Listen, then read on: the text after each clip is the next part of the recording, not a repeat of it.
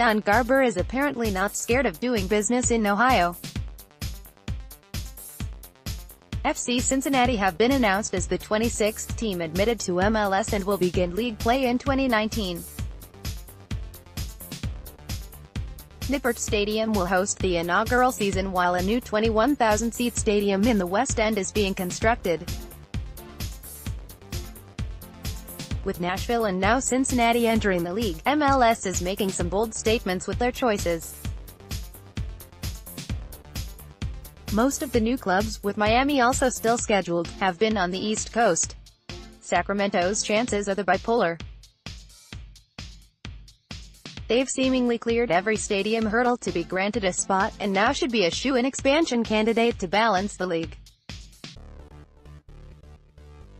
However, shouldn't they have been in by now? The ownership issues for Sacramento clearly have MLS HQ worried.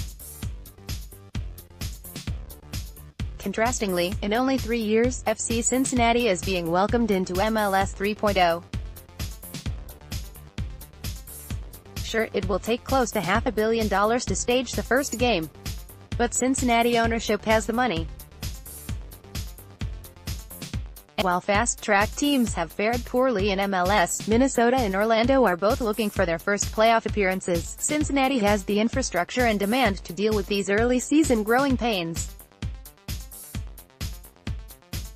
A pared-down stadium will keep demand high, though ownership will need to spend to keep the apparent buzz around the city. The USL team finished sixth in their conference last year and are presently second in 2018. Minnesota United did well to incorporate Miguel Ibarra and Christian Martinez. No one on this FC Cincinnati team will get a call up to the USMNT soon, even if Klinsmann were in charge. More from MLS Multiplex but FC Cincinnati's fanbase will be relieved the expansion process is over. Tying up millions of dollars while tempering expectations if things go south is a tenuous situation. Now the investors can move forward without hedging their bets.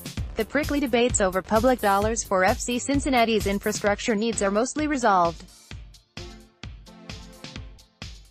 Last week, Cincinnati Mayor John Cranley decreed expansion Tuesday and Orange and Blue Day. FC Cincinnati's next order of business should be to lean on Garber. They should let MLS HQ know that the Columbus Crew rivalry should be preserved.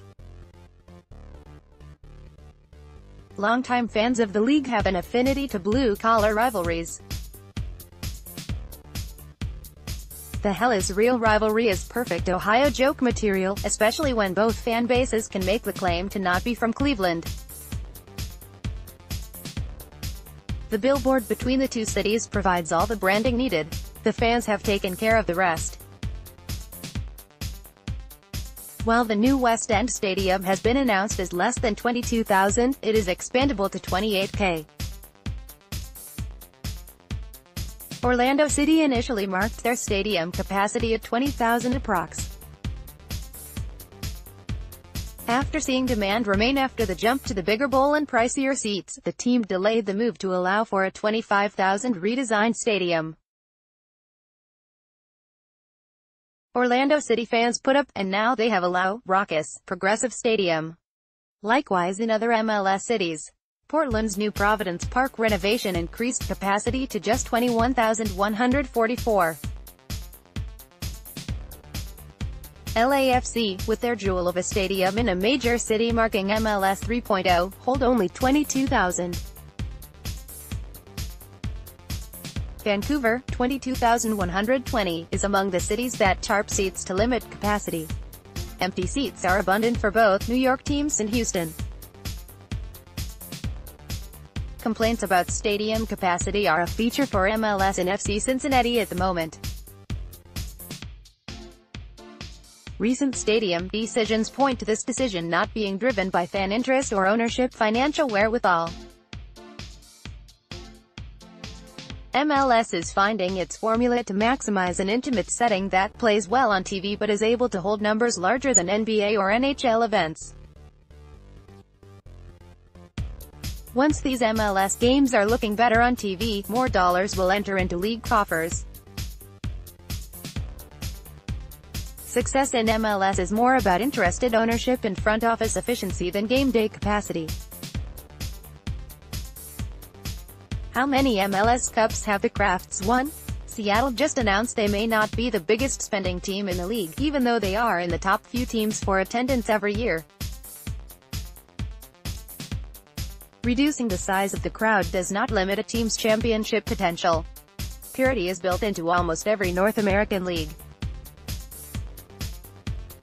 Generating sellouts is more important than selling an extra 1,000 seats, especially if a team builds 4,000 extra seats. Maintaining a waiting list increases excitement around the team. In 2019, Cincinnati should play in the Eastern Conference. The MLS conferences and schedules could be better balanced with 12 in each conference. In 2020, Nashville and Miami will also likely be Eastern MLS teams. Cynical fans will try to deem that Cincinnati joining MLS means the crew are definitely moving to Austin just to balance the conferences, which is of course nonsense. There are a lot of moving parts too. Money talks in Columbus just as well as the money being spent in Cincinnati. Chicago could move to the West since there is a Midwest rivalry versus Minnesota waiting to blossom. Pairing the Midwest rivals would leave Nashville to battle Atlanta and the rest of the Mid to Southeast Coast teams. Besides Twins versus White Sox and Vikings versus Bears games are plenty fun.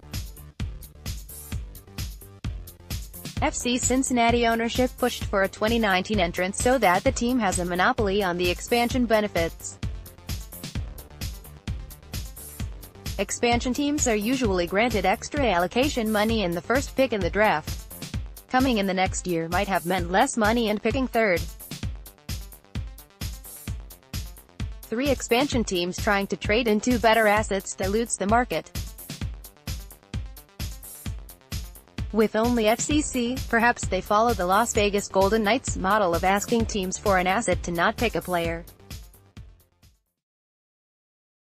If FC Cincinnati can replicate the cup runs of the Fire 1998 and Golden Knights 2018, the experience at Nippert Stadium would be one of the best atmospheres in MLS. If they languish for years, at least they won't do so in a half-filled stadium. Three years ago, FC Cincinnati began to play. Copa 90 also made a video, which today's expansion announcement resoundingly affirms. MLS and soccer in America are here and infiltrating a city near you. No longer is the MLS game inaccessible to large swaths of the country. FC Cincinnati may indeed be marking the start of yet another new MLS era.